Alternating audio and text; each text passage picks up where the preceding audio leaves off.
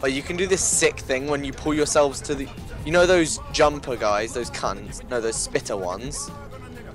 You can pull yourself to them and push E, and then you like shoulder slam them.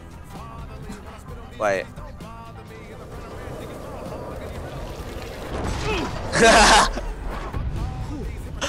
was like you like throw your body at it. You're just throwing your body at it, and you just suddenly. Fucking hell, man. How's this game real, man? Oh shit!